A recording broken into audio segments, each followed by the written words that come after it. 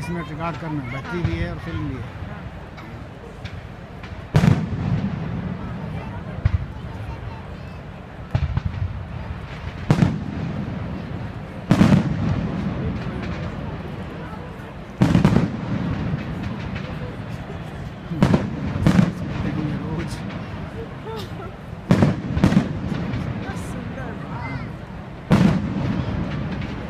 बीस हज़ार यूरो तो रोज फूक देते